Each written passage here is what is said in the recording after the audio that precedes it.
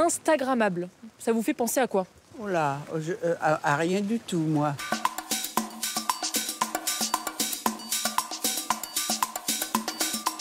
Badés, boboisés, spoilés, désormais, ils font officiellement leur entrée dans nos dictionnaires.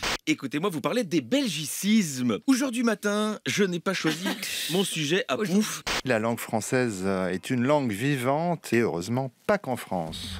Avoir la bouche sucrée, ça, ça veut dire être un beau parleur en Côte d'Ivoire, ou encore une personne qui s'énerve les poils de jambes. Alors ça, c'est une expression qui est utilisée au Québec pour décrire une personne un peu stressée, ou encore le verbe giraffer qui s'emploie en Afrique occidentale et qui veut dire copier quand on est à l'école. C'est vraiment une photographie, même un de l'évolution du monde et de la société dans laquelle on vit. Sainte-Beuve avait raison de dire qu'il y a des mots qui sont vivants comme des ors, redoutables comme des conquérants, absolus comme des despotes, impitoyables comme le bourreau.